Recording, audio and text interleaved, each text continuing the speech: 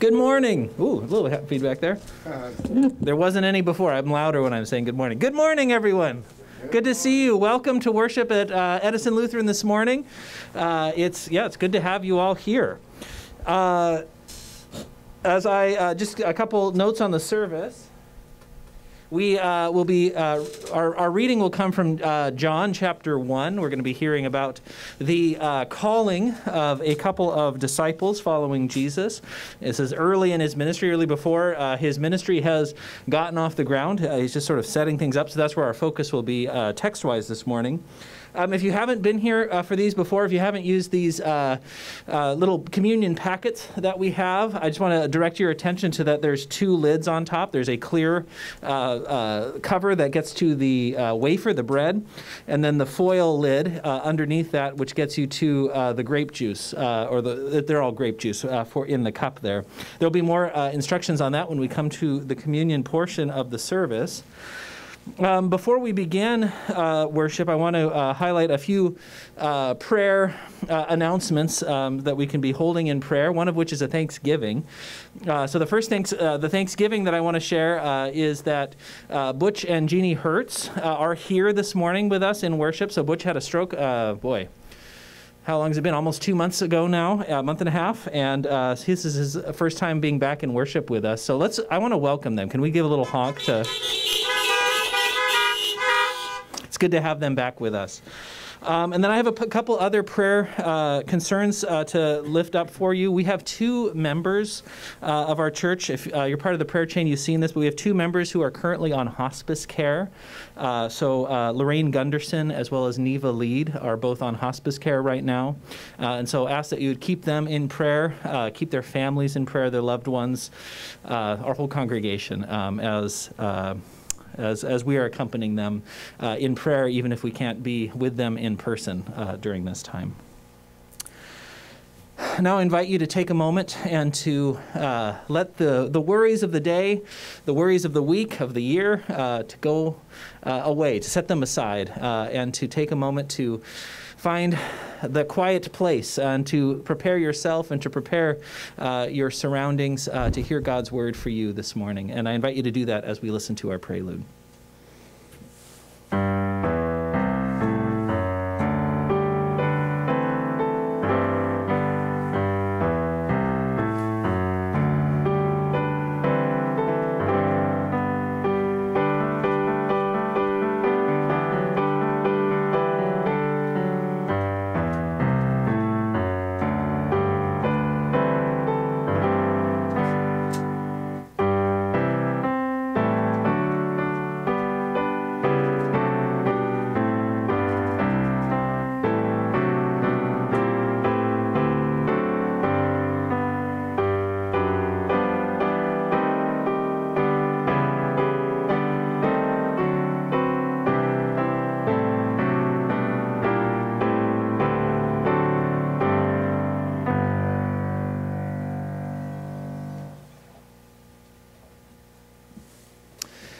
In the name of the Father, and of the Son, and of the Holy Spirit. Amen. Let us pray. God of all mercy and consolation, come to the aid of your people, turning us from our sin to live for you alone. Give us the power of your Holy Spirit, that attentive to your word, we may confess our sins, receive your forgiveness, and grow into the fullness of your Son, Jesus Christ our Lord. Amen and let us confess our sin in the presence of God and one another.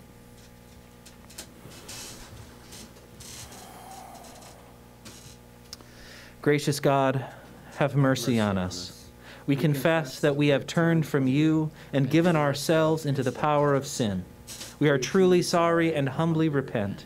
In your compassion, forgive us our sins, known and unknown, things we have done and things we have failed to do. Turn us again to you and uphold us by your Spirit, so that we may live and serve you in newness of life. Through Jesus Christ, our Savior and Lord. Amen. In the mercy of Almighty God, Jesus Christ was given to die for us, and for his sake, God forgives us all our sins. As a called and ordained minister of the Church of Christ, and by his authority, I therefore declare unto you the entire forgiveness of all your sin In the name of the Father, and of the Son, and of the Holy Spirit. Amen. Our gathering hymn is In Christ Called to Baptize. We will sing verses 1 and 3.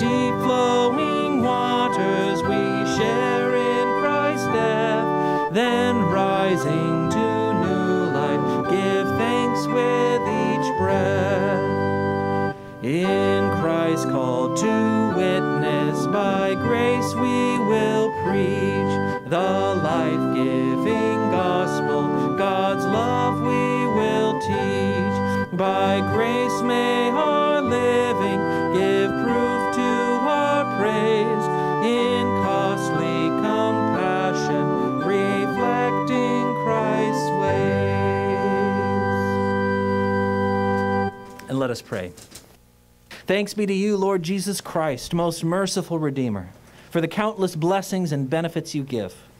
May we know you more clearly, love you more dearly, follow you more nearly, day by day praising you, with the Father and the Holy Spirit, one God, now and forever. Amen. Amen. Our first reading comes from 1 Samuel chapter 3. Now the boy Samuel was ministering to the Lord under Eli. The word of the Lord was rare in those days, visions were not widespread. At that time, Eli, whose eyesight had begun to grow dim so that he could not see, was lying down in his room. The lamp of God had not yet gone out, and Samuel was lying down in the temple of the Lord, where the ark of God was. Then the Lord called, Samuel, Samuel. And he said, Here I am. And he ran to Eli and said, Here I am, for you called for me. But he said, I did not call. Lie down again. So he went and lay down. The Lord called again, Samuel. Samuel got up and went to Eli and said, Here I am, for you called me. But he said, I did not call, my son. Lie down again. Now Samuel did not yet know the Lord, and the word of the Lord had not yet been revealed to him. The Lord called Samuel again a third time. And he got up and he went to Eli and said, Here I am, for you called me. Then Eli perceived that the Lord was calling the boy. Therefore Eli said to Samuel, Go, lie down, and if he calls you, you shall say, Speak, Lord, for your servant is listening. So Samuel went down and went and lay down in his place. Now the Lord came and stood there, calling as before, Samuel. Samuel. And Samuel said, Speak, for your servant is listening. Word of God, word of life. Thanks be to God. Our psalm comes from Psalm 139, and this is what our tone uh, will be.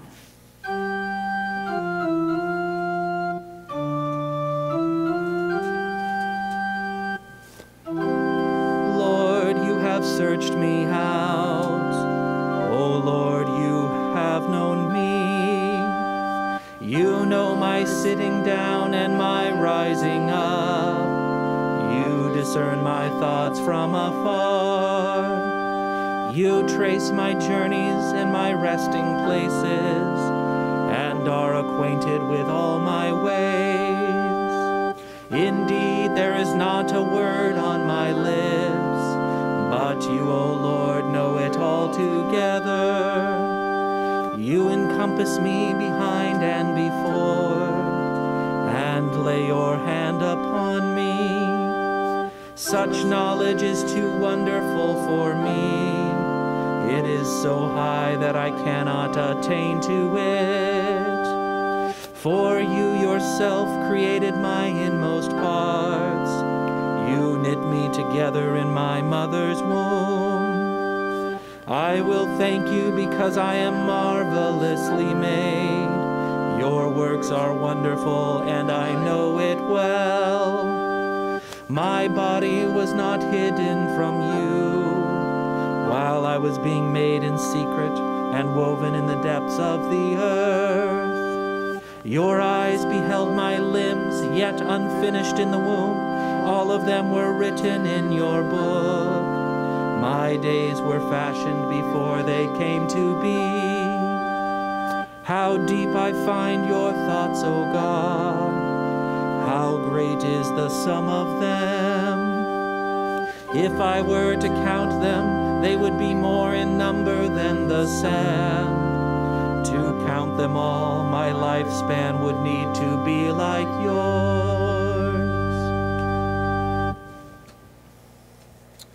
Our second reading comes from 1 Corinthians chapter 6, and it can be summed up as saying, What you do with your body matters, because your body matters to God. Paul writes, All things are lawful to me, but not all things are beneficial. All things are lawful for me, but I will not be dominated by anything. Food is meant for the stomach, and the stomach for food, and God will destroy both one and the other. The body is meant not for fornication, but for the Lord, and the Lord is meant for the body. And God raised the Lord and will also raise us by his power. Do you not know that your bodies are members of Christ?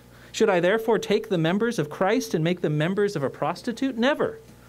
Do you not know that whoever is united to a prostitute becomes one body with her? For it is said, the two shall become one flesh. But anyone united to the Lord becomes one spirit with him. Shun fornication. Every sin that a person commits is outside the body, but the fornicator sins against the body itself. Or do you not know that your body is a temple of the Holy Spirit within you, which you have from God, and that you are not your own, for you were bought with a price? Therefore, glorify God in your body. Word of God, word of life. Thanks, Thanks be to God. The Holy Gospel according to St. John, the first chapter. Glory to you, O Lord. The next day, Jesus decided to go to Galilee. He found Philip and said to him, Follow me. Now, Philip was from Bethsaida, the city of Andrew and Peter, whom Jesus had already called. Philip found Nathanael and said to him, We have found him about whom Moses in the law and also the prophets wrote, Jesus, son of Joseph, from Nazareth. Nathanael said to him, Can anything good come out of Nazareth? Philip said to him, Come and see. When Jesus saw Nathanael coming toward him, he said of him, Here is truly an Israelite in whom there is no deceit. Nathanael asked him, Where did you get to know me? Jesus answered, I saw you under the fig tree before Philip called you. And Nathanael replied, Rabbi, you are the Son of God. You are the King of Israel. Jesus answered, Do you believe because I told you that I saw you under the fig tree? You will see greater things than these.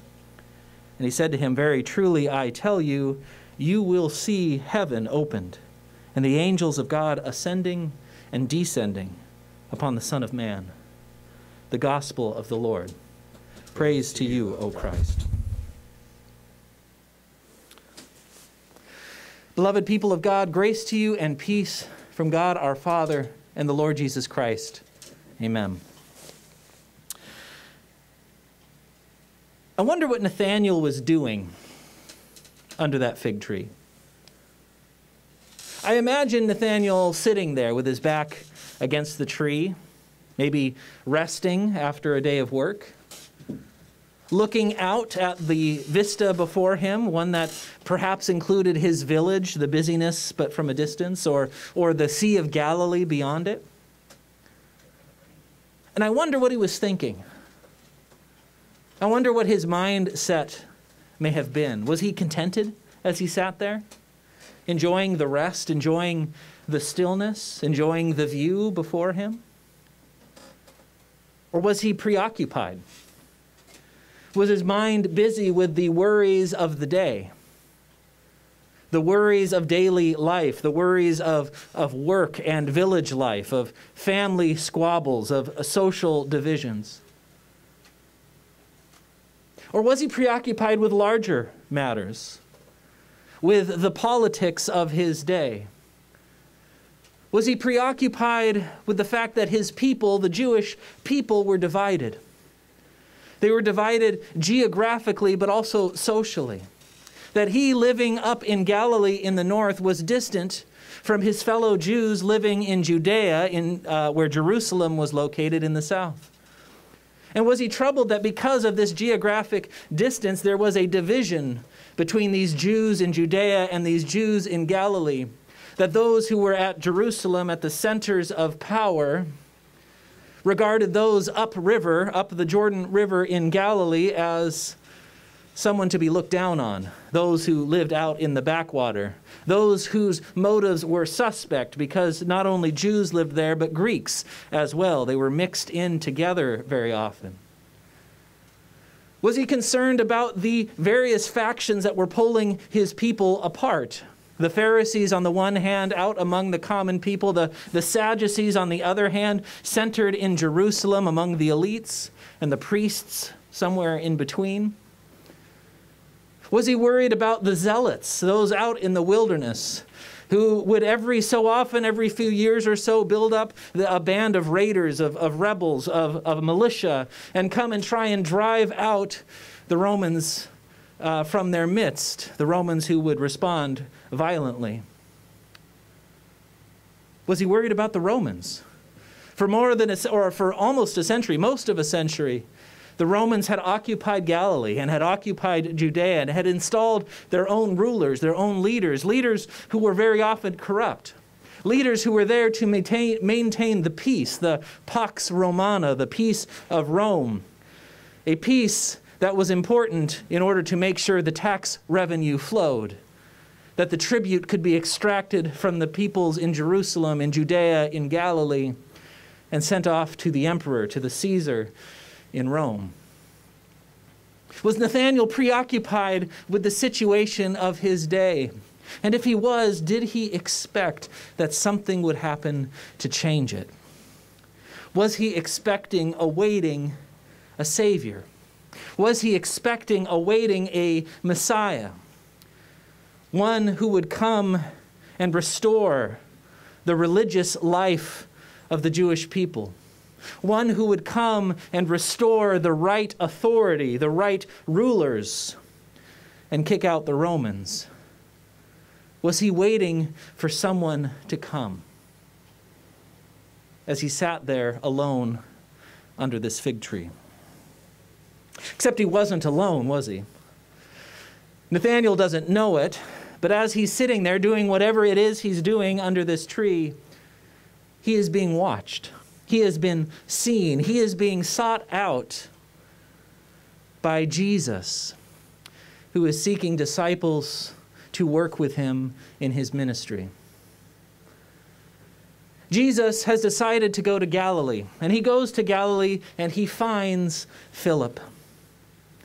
And Philip, whether because he's sent explicitly by Jesus or just goes of his own accord, we're not told, goes and finds his brother Nathanael as Nathanael is sitting under this fig tree. And Philip interrupts Nathanael's thought or Nathanael's nap or, or whatever is happening. He interrupts him with this word We have found the one who Moses wrote about in the law and the prophets. That is, we have found the one who is promised in Scripture. We have found the Messiah, the Savior, the one who will put all these things right. But of course, Philip's not quite right when he says that because it says very clearly in the first verse of our text Jesus has found them. Jesus finds Philip. Philip didn't find Jesus. Jesus finds Philip. And as Philip goes to Nathanael, and we find out that Jesus has already been watching Nathanael, has seen Nathanael, uh, whether from a, a distance, but more likely miraculously somehow, through the Spirit, we could say. It turns out Nathanael has been found by Jesus as well. Now, this is a surprise. Whether Nathanael was expecting this or not, whether Nathanael was uh, ready for this or not, it's a surprise. It's a surprise because of who this person is. Jesus, son of Joseph, uh, Philip says, of Nazareth. And Nathanael responds, Can anything good come out of Nazareth? Now, I don't know if Nathanael is meaning to look down negatively on, on Nazareth or if he's just expressing honest surprise that the Messiah, the one promised, might come from such a place as Nazareth. I mean, the idea that the Messiah would come out of Galilee is already a surprise. Galilee, remember, is the backwater. It is up the Jordan River from Jerusalem. It is not where you expect the Messiah to be. The Messiah should be in Jerusalem, at the temple, at the center of things. So that in itself is a surprise. But even more so, of all the towns and the villages of Nazareth, some of which even have some commercial importance beyond uh, the, the Jewish uh, nation, why Nazareth, of all places? This village of, of maybe 200 people, uh, tucked away up in the hills, quite remote. Uh, a village where people uh, literally dig into the soft rock of the hillside to build their houses. They're, they're cave dwellers of a sort up there in Nazareth. Of all the places that the Messiah is to come from, Nazareth? Can anything good come out of Nazareth? Can this good come from Nazareth? Nathanael is surprised. Jesus is finding them, seeking out these ones who are surprised at who he is. Philip doesn't try and reason with Nathanael. He doesn't go to Scripture to try and prove that, of course, the Messiah uh, should come from Nazareth. He doesn't say, well, you know, the Messiah might be interested in starting at the edges and working his way, and he doesn't offer any arguments at all. Philip seems to actually, uh, by not trying to defend it, acknowledge that this isn't really a defensible statement. It doesn't make any sense that the Messiah would be from Nazareth.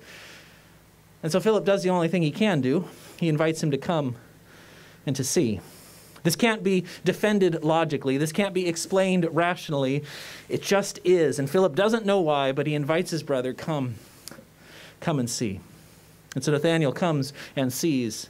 And he finds out in his interaction with Jesus that Jesus has been the one seeing him this whole time. Here is an Israelite truly in whom there is no deceit. Here is someone who is simple and straightforward, who calls things like he sees them. And Nathanael is shocked. How did you know me? How do you know this about me? And Jesus says, Well, I saw you under the fig tree. And Nathanael believes. And then at the end, there's this uh, strange kind of statement that Jesus makes. It seems to come kind of out of nowhere. I mean, he says, You'll see greater things than this. But then he says, Very truly, I tell you, you will see heaven opened and the angel of God, angels of God ascending and descending upon the Son of Man. And then it ends and it moves on to the next story, the, the wedding of, at Cana, where Jesus turns water into wine. And this one little statement kind of sticks out there at the end. It doesn't seem to obviously connect with what came immediately before. It certainly doesn't seem to connect with what comes immediately after. It's not obvious in our English translation, but in Greek, you can see that the you here, the I tell you, you will see, is plural. Jesus is speaking all of a sudden to more than one person. Everything so far has been between him and Nathanael, but now he's including more people in the statement about you will see. It kind of sticks out. It's, it's surprising. Uh, maybe Jesus is, is now including Philip or Andrew and Peter, the others who are there. Maybe Jesus is now including us, the hearers of this gospel, the readers of this gospel. It's not the only time something like that happens in John's gospel. You will see. But if our ears are perked up, and certainly Nathanael's and Philip's would have been, you might notice something familiar about that statement about angels ascending and descending. A couple of months ago, I think, a few months ago, back in the fall anyway, we heard a text uh, from Genesis, uh, chapter uh, 28, uh, a text involving Jacob. Jacob was on the run from his brother Esau, as you may recall. He was, had stolen his brother's birthright, and his brother was murderously angry at him. And Jacob is on his way out of the land. He is running for his life, and he comes to a place and he lays down and he uh, uses a stone as his pillow. He doesn't have anything with him. And as he sleeps there, he has this vision. I just want to read part of this vision. He dreamed that there was a ladder set up on the earth, the top of it reaching to heaven, and the angels of God were uh, ascending and descending on it. And the Lord stood beside him and said, I am the Lord, the God of Abraham your father, and the God of Isaac. The land on which you will lie I will give to you and to your offspring. And then he goes on, Know that I am with you and will keep you wherever you go and will bring you back to this land, for I will not leave you until I have done what I have promised you. Jacob wakes from his sleep and says, Surely the Lord is in this place, and I did not know it. How similar that is to Nathanael's experience. Surely the Lord is in this place, and I did not know it. Surely the Lord is in this place in Galilee of all places, and I did not know it. Surely the Lord is in this place in Nazareth of all villages, and I did not know it. Surely the Lord was with me under this fig tree, and I did not know it. You will see this, Jesus says. There's something very profound here. Because just as Jacob assumes this is the place where God dwells, this is the gates of heaven, this is the place where heaven and earth meets, and actually tradition then goes on to say that this is the site of where the temple in Jerusalem is built, that over you know generations, centuries later, the, the temple is built on the same exact spot. This is what the tradition says.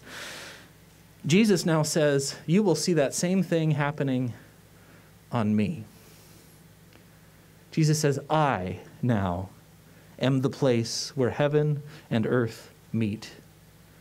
I now, wherever I am, is the gate of heaven, where the angels are ascending and descending, where God is standing and making a promise that I will be with you.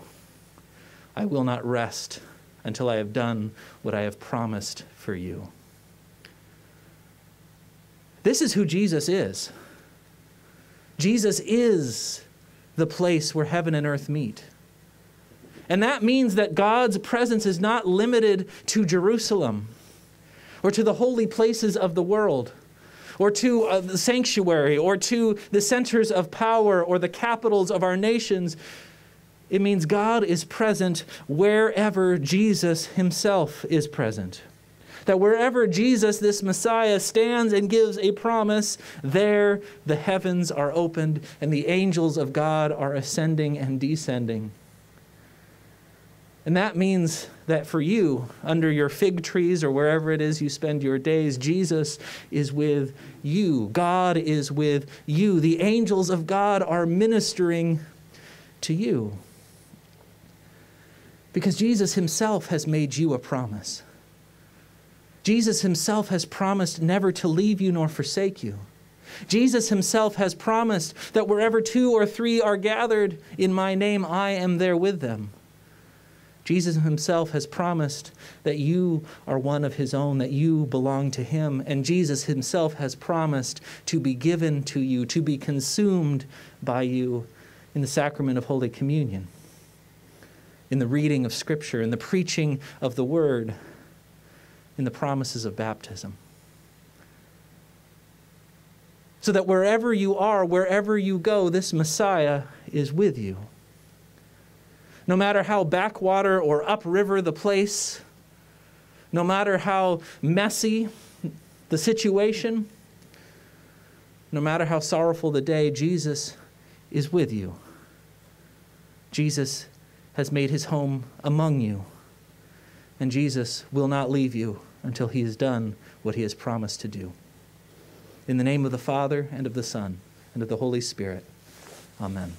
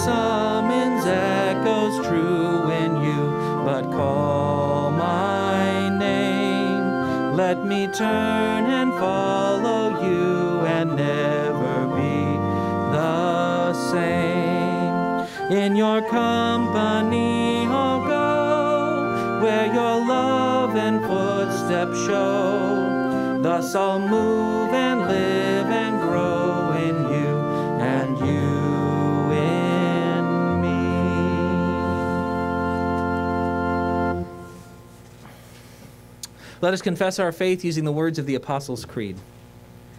I believe in God, the Father Almighty, creator of heaven and earth. I believe in Jesus Christ, God's only Son, our Lord, who was conceived by the Holy Spirit, born of the Virgin Mary, suffered under Pontius Pilate, was crucified, died, and was buried. He descended to the dead. On the third day he rose again. He ascended into heaven. He is seated at the right hand of the Father, and he will come again to judge the living and the dead. I believe in the Holy Spirit, the holy Catholic Church, the communion of saints, the forgiveness of sins, the resurrection of the body, and the life everlasting. Amen. Guided by Christ, made known to the nations, let us pray for the church, the world, and all people in need.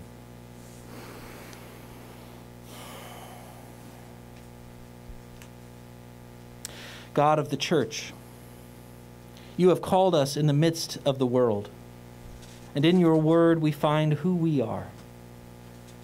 Keep us steadfast in your word, along with the whole body of Christ gathered throughout the world, that we might daily live out your calling. Hear us, O God. Your mercy is great. God of all nations, all authority comes from you. Watch over police officers and firefighters, attorneys and paralegals, peacekeepers and military personnel, and the leaders of governments. See that they provide protection to all people, and especially those most vulnerable. Protect the government of our nation during this transition. Hear us, O God. Your mercy is great. Generous God, provide for those lacking food or shelter, console those who are sick or grieving and comfort those who are imprisoned or homebound, and all who suffer. Hear us, O God. Your mercy is great. And God of gospel, make your promise to be heard throughout our community. Bless members, online attendees, and visitors to this congregation that they are nourished by your life giving word. Hear us, O God. Your mercy is great. We also lift before you these people and situations we name now, either aloud or in our hearts. Lorraine, Neva.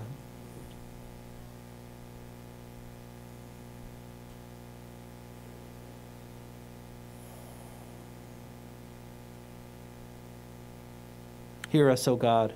Your mercy is great.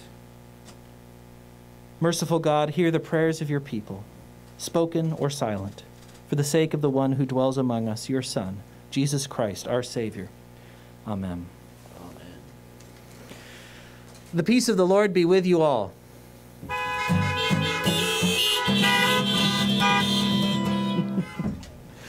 we continue with a great thanksgiving.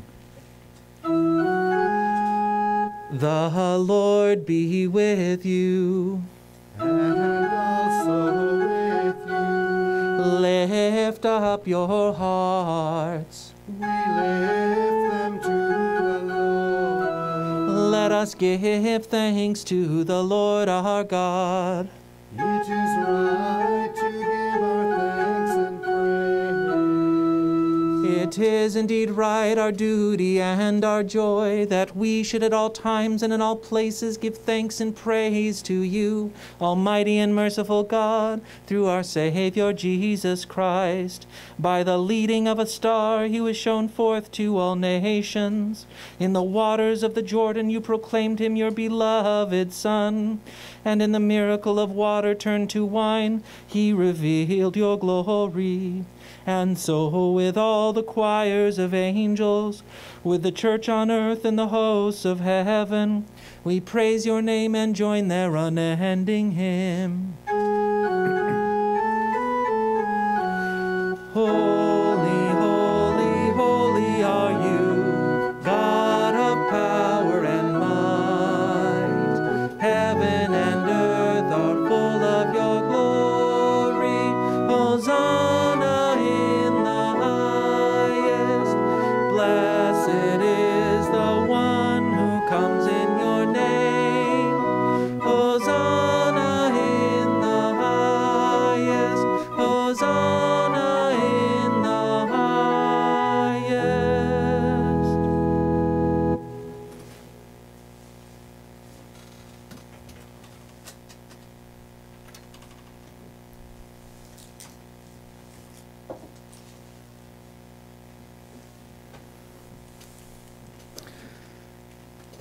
invite you to open up the clear lid and pull out your wafer.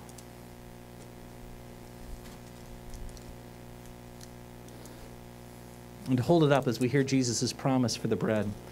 In the night in which he was betrayed, our Lord Jesus took bread, and he broke it, and he gave thanks, and he gave it to his disciples, saying, Take and eat. This is my body, given for you. Do this for the remembrance of me.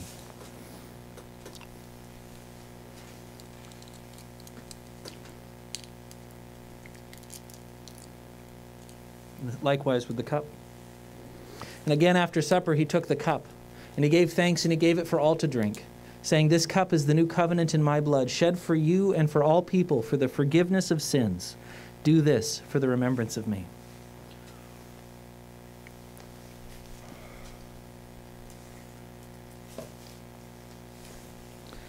Gathered into one by the Holy Spirit, let us pray as Jesus taught us. Our Father, who art in heaven, hallowed be thy name. Thy kingdom come, thy will be done, on earth as it is in heaven. Give us this day our daily bread, and forgive us our trespasses, as we forgive those who trespass against us. And lead us not into temptation, but deliver us from evil. For thine is the kingdom, and the power, and the glory, forever and ever. Amen. The body and blood of our Lord Jesus Christ strengthen you and keep you in his grace. Amen. Amen. Uh, a couple announcements. One of them I just wrote announcement down. I wonder what that was supposed to be. Um, one of the you uh, received on the way in, or if you wanted one, a hard copy of the annual report that will also uh, be available uh, electronically, and that's of course for our annual meeting, which is coming up uh, in two weeks. So on the 31st, and that will be via Zoom, and instructions uh, will be posted on the website soon for that, uh, how to join that. Um, I also want to just recognize um, our new secretary, Carrie, who has uh, undergone uh, trial by fire, I think, this week and getting this annual report out to you all. So I think we should honk a little bit for Carrie just to recognize her work. And uh, yeah, has, has put put a lot of work into that this week. So, and not just this week, but also especially this week. Um, and then one other uh, handout that you received on the way in. Oh, I remember my other announcement is. Before I do that one. It was written for me special. I remember now. Uh, there's an announcement for Family Promise. Uh, so, Family Promise has returned uh, to a church rotation in providing meals uh, for their residents. And so, uh, Edison Lutheran, 25 residents. Uh, Edison Lutheran, we've signed up for February 4th, 5th, and 6th. Um, and we have a Thrivent grant, which is paying for the main protein and desserts, or protein and desserts already taken care of. So we are in need of side dishes for all three nights. So again, that's February 4th, 5th, and 6th. And so if you are uh, able and interested to provide a side dish for those nights, uh, or even just one of those nights, please contact Katie Olson. Um, so thank you for that. That's what my announcement was. All right, now there was one other thing that you received uh, regarding a piano, and I wanted to let Peter just uh, address that uh, briefly as we're an opportunity uh, to purchase a new piano. Thank you, Pastor John. So if you Can you all hear him? you guys hear okay? Okay. So I uh, recently, uh, David Benson and I have been looking into this because his it's actually Sharon Benson, his mom's first cousin, is Ray Baki, and sh- and he and Corrine are re- selling their home in Acme. It's a beautiful place that houses this magnificent piano, and he's made the piano available to our our church for a, a you know, it seems like an incredible amount of money, I know, but it's, it's, it is an amazing instrument. I, I can't emphasize that, that enough. It's a legacy piano. It's a very special piano. And I think it would, uh, Edison could make it a really fine home. So I think that um, something to pray and think about is how could this instrument help um, encourage our ministry and outreach at Edison? And it, I think you can see it, it will in many, many ways. So please think about that, and I think in, at the annual meeting, we're gonna go forward and talk about if it's something we might like to pursue. And uh, if you have any questions or comments, or you have any thoughts about wanting to give to the effort, please let me, or you can call Carrie at the church office and let her know. We can just see what kind of interest is out there and see if it's something we want to go ahead with. Yeah, so this is a piano that's valued at $100,000. It's an excellent piano. It's in, in it's in basically in like new condition. It's like a showroom piano. It's been humidif- humidified, controlled, and heat Yeah. controlled, and it's just, it's it's in yeah, it's it's magnificent. So And the, and the owners of the piano are, are receiving offers at full price for it, but they'd like it to go to a church home, That's- so they're willing to let us have it for half correct. price. Yeah. So, um, but that, so that's something that we'll be talking about at the annual meeting. So I just wanted, wanted to get some information out so that people can be thinking about it. And as Peter mentioned, you know, if this is something uh, that uh, you might be uh, feeling interested in in uh, contributing to uh, the effort to purchase this piano, um, you know, talk to Peter, talk to Carrie, talk to me. Um, we're just getting a sense of how much interest this is, and if this is something that will uh, that maybe we're being uh, called. Uh, this is an opportunity provided for us to do, um, and then the ways that it could help our, our community outreach once you know communities can come together inside sanctuaries again, which will happen, I'm sure. Um, but so I just wanted to get that out there so that, ahead of the meeting, so that uh, we have an idea um, and can start thinking about that and and wondering about that. All right, I think that's all the announcements that I have. Uh, so receive uh, the benediction. Almighty God, Father, Son, and Holy Spirit, bless you now and forever. Amen.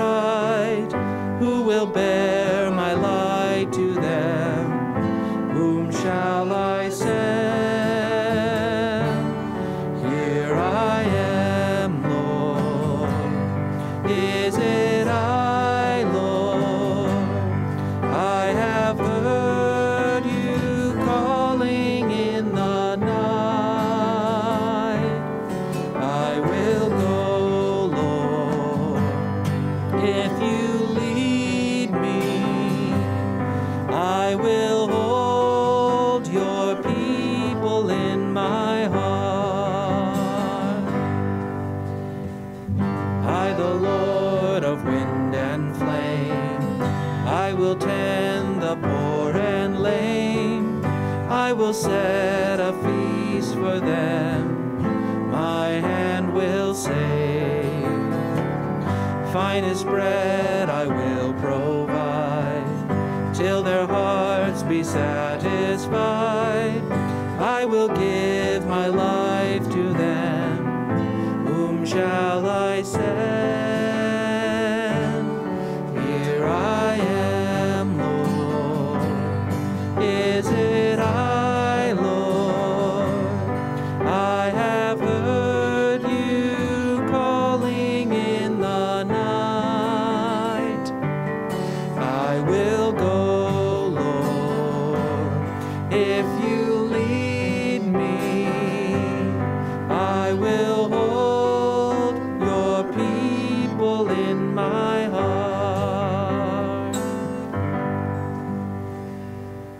peace. Christ is indeed with you. Thanks, be to God.